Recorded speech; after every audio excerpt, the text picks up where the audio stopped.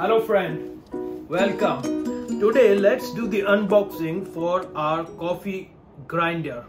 If you will see this one is all-time hit model SCG 222. The voltage is 180.